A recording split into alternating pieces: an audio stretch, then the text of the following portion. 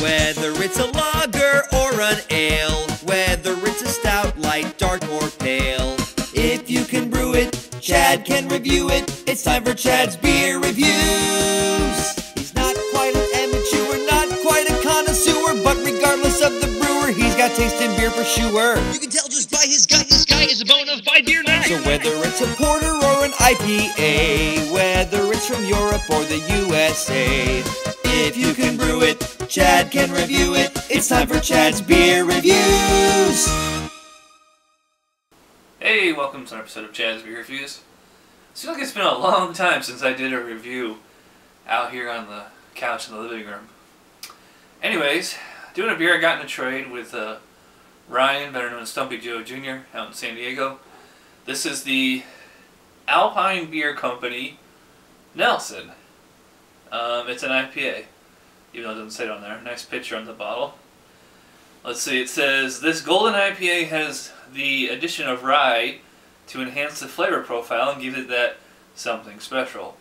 We use Nelson Sauvin hops from New Zealand, prized for their white wine fruity flavor. The scent of fresh grapefruit greets you each time you lift your glass.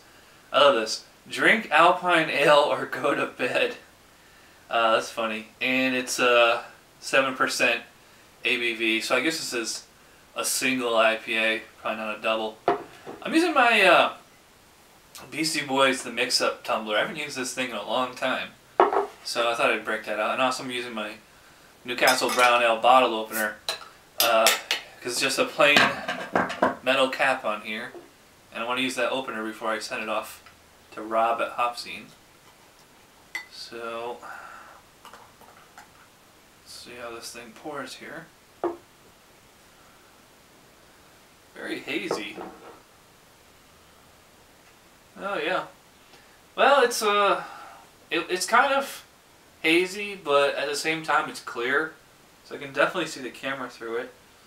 Um, it's a very dark color. It's like it's, it's like it should be a bright orange, like the label, but it's like the intensity's turned down or something.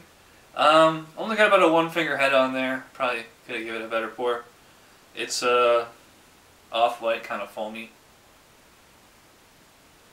It definitely smells like West Coast. It's it's very floral and kind of grapefruity. It smells very juicy. It smells like uh, passion fruit juice or something. Uh, smells smells like breakfast juice. So I mean, looks pretty good. Smells pretty good. Let's see how it tastes.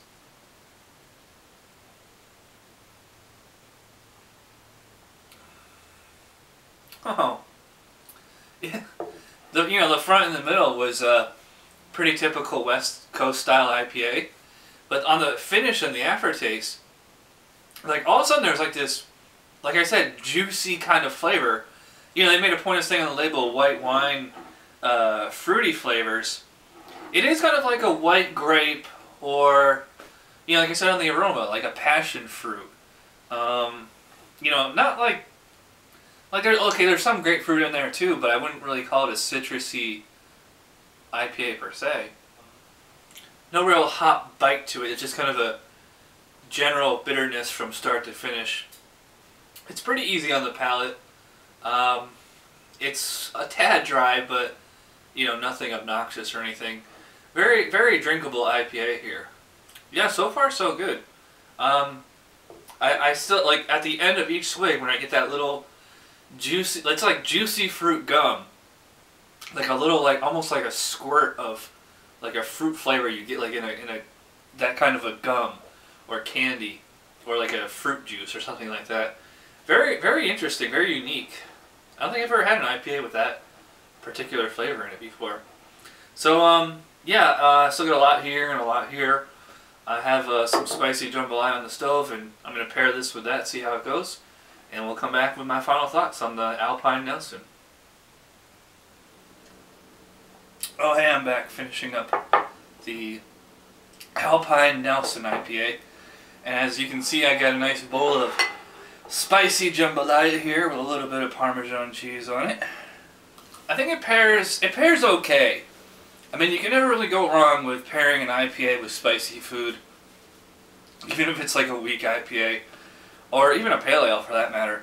Um, this isn't quite as bitter as I would prefer for this particular dish. This is more of an IPA just to have, just to have it, you know. Um, it's almost kind of refreshing because it has that nice juicy quality that we talked about before.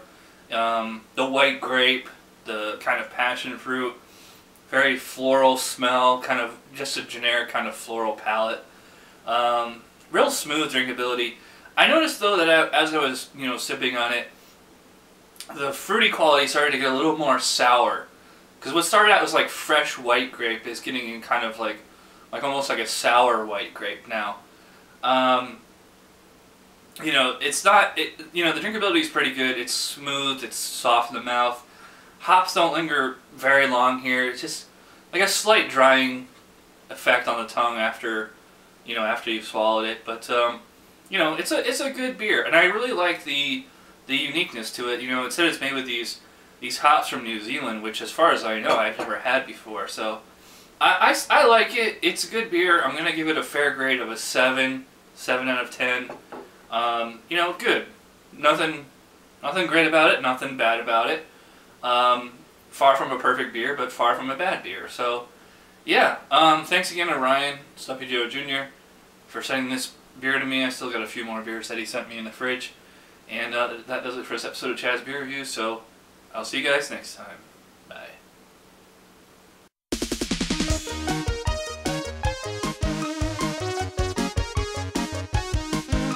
Somebody brewed it. Chad just reviewed it. Thanks for watching Chad's Beer Review. Trust me, the next episode will be a lot better.